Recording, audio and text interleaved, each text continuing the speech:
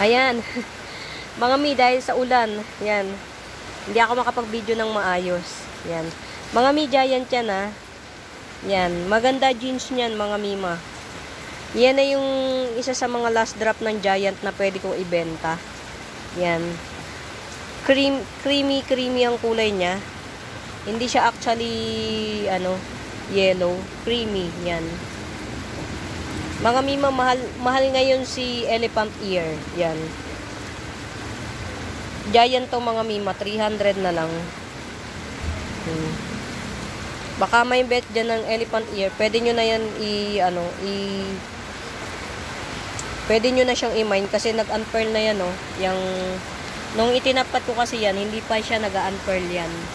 Ngayon, nag-unpearl na siya. Yan, dati na niyang, ano, nauud siya. Yan. Ilagay ko siya sa medyo naaarawan kasi doon, walang araw doon. Eh, hindi naman niya na kailangan na, ano, kasi, uh, matagal ko na yan na top cut eh. Tsaka nung tinapat ko siya, may ugat naman siya. So, yan. Sa magkakaroon ng bet, yung dilaw na yun mga mi, matatanggalin ko na lang yun. Gugupitin ko na lang yan kasi hindi naman nawawala na pagka uh, uh, pinropa mo, may magda-down talaga na dahon. Pero luckily, isang dahon lang yung nag-down promise. Yan. Yun lang. At may ano naman talaga siya, simulat sa pool, may damage yan. 2, 4, 6, 7. 7 na big leaves. Big, big leaves yan na mga mima. Sobrang laki niyan, oh. Hmm. Ang laki. Ito yung pinakabagong dahon, oh. Ang laki niya, mga mima. Ayan, oh. Ayan yung, ano, yan. Maganda jeans nito, mga mima. Lalo na kung mapapaarawan nyo sa um, ano, sa morning sun, yan. 350 lang yan ha. Yan, variegated elephant ear.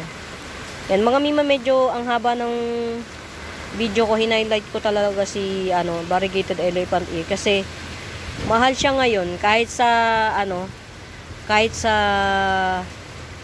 Mindanao, ang mahal.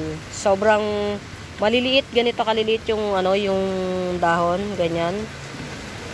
Basta heavy bar, ganyan yung variegation. Uh, ah, 50 pesos agad yung price niya. Pero ganyan lang kaliit yung dahon. Yan. Yan malaki ang ano niyan nodes niyan. Mga mima ganyan yata yung taba niya. Yan. Malaki na siya. Matured na siya talaga mga mima. Yan hinighlight ko lang si variegated elephant ear sa mga magkakabet 300 ko na lang igigibsong mga mima. Yan. Yan. For ng mga mima um uh, mine mine na. Isiship ako through GRS mode of payment um, Gcash and then um, minimum of 500 man lang tayo ha mga mima? Minimum of, minimum of 500 dyan. JRS ko minimum Luzon 145 door to door. Ang LBC naman 135 up pick up. Yan slim box lang yon So, mga mima yan, mine-mine na ha, mga mi. Makokontak nyo ako sa Buenaventura Sacramento Tools ang icon. Ano, may messenger account ha.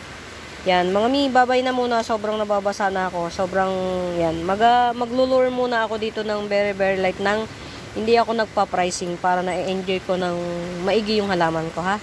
Yan, bye muna mga mi. Happy watching. Mine na po. Bye!